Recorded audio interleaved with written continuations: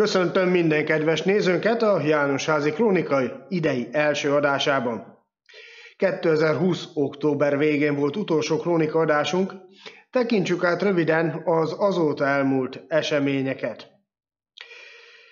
Egy kis összefoglaló tehát elsőként, ahogy mondtam, adásunk végén pedig sport.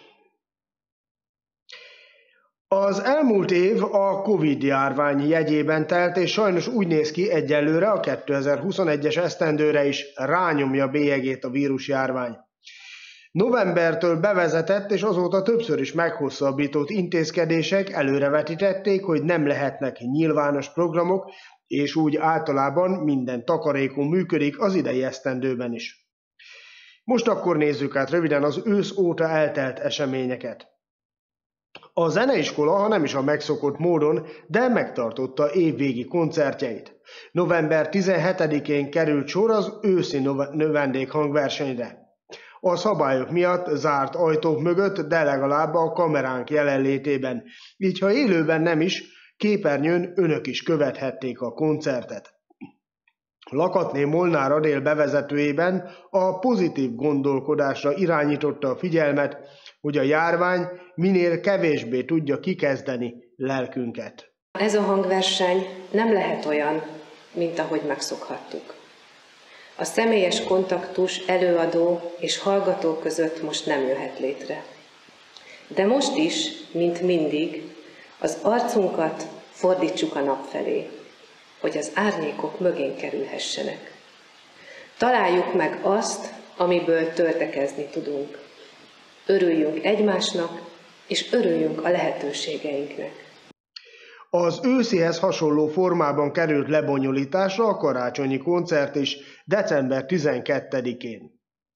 Nem maradt el a mézes kalács sütés sem, igaz, most nem közösségben készültek a sütik, hanem minden kisdiák otthon a szüleivel ügyeskedett, hogy a zeneiskola karácsonyfája a koncertre minél szebb legyen.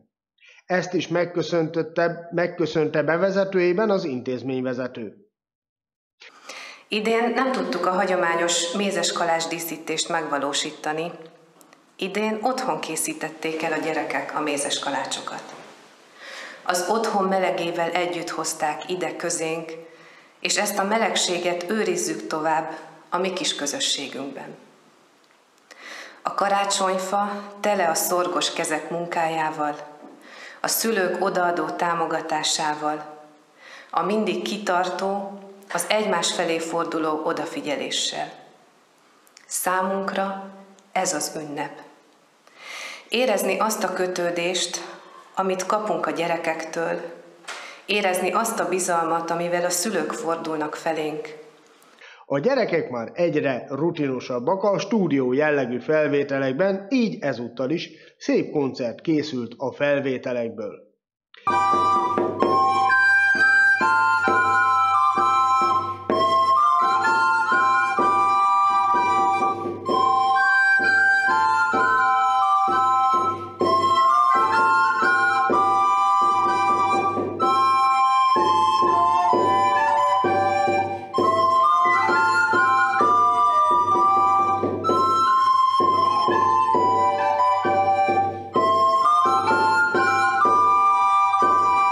Természetesen a karácsonyi koncertből ezúttal is kivették részüket az iskola tanárai is.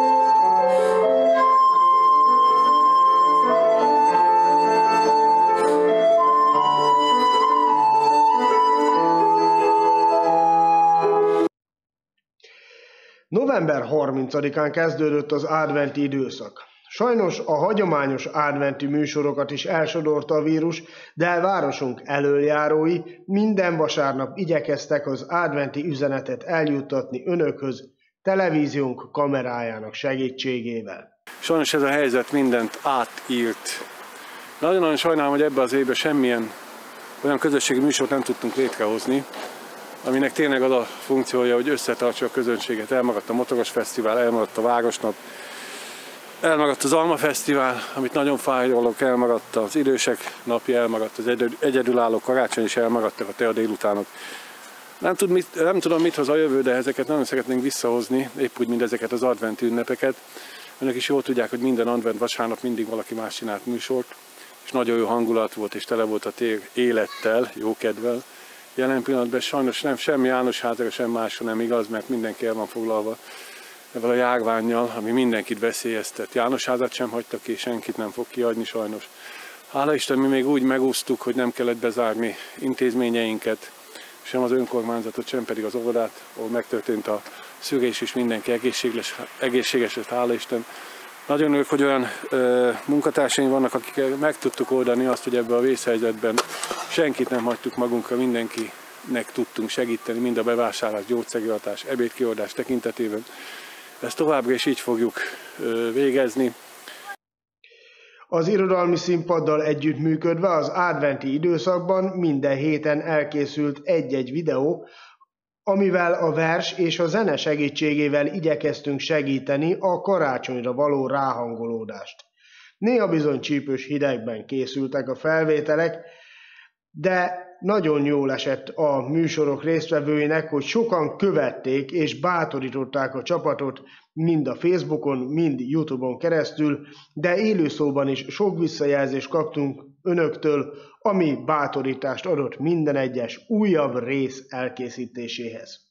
Karácsonyfa minden ága, csillog, villog, csupa drága, szép mennyei üzen. A János Háza Televízió más módon is kivette részét az adventi felkészülésből. A megszorítások bevezetésével ismét közvetíteni kezdtük a szentmiséket a vasárnapi és ünnepi alkalmakon. Így volt ez karácsonykor, és azóta is így van. A múlt héten a hamvazó szerdai szentmisével megkezdődött a nagybőti időszak is. Köszönjük, hogy sokan követik a miséket mindenféle platformon. Sajnos november 7-én négy fordulóval a vég előtt félbeszakadt az őszi labdarúgó bajnoki szezon is. A folytatásra az idei év február 6-ájáig kellett várni, akkor lépett újra pályára csapatunk, mégpedig a Körment otthonában. Nem is eredménytelenül, hiszen 0-1-re győztek, ezzel jó alapozást adva az idei esztendőnek. A következő hétvégén a hazai meccset a Vasvár ellen a Celdömölki Jufa műfüves pályán bonyolították az itthoni pálya állapota miatt. Ez azonban nem zavarta meg a csapatot abban, hogy megverjék a vasváriakat 3-0-ra. Múlt hétvégén lejátszották az utolsó előtti őszről áthozott fordulót is. Egyházas Rádócon 0-1-es Jánosházi vezetés után sajnos 1-1-es döntetlenre végződött a mérkőzés. Egyelőre azonban ez is elég a negyedik helyhez a tabellán. Holnap a Celdömölk jön ide. Ez az őszi utolsó forduló, ezután már a tavaszi szezon meccsei következnek majd. Reméljük az eddigi jó szereplés folytatódik, és akkor sikerülhet a kijelölt terv, hogy az első ötben végez majd a csapat. U19-es csapatunk is megér néhány szót. Három győzelemmel folytatták az őszi szép sorozatot. Ezzel jelenleg az első helyen állnak a tabellán, amire már jó régen nem volt példa. Bízom benne, hogy a tavaszi szezon is olyan jól sikerül, mint az őszi, és akkor akár bajnok is lehet U19-es csapatunk. Hajrá Meteor, hajrá fiúk a holnapi napra is, Ennyi fért mai krónikánkba. Megköszönöm megtisztelő figyelmüket, műsorunkkal legközelebb a jövő héten találkozhatnak majd a képernyőn.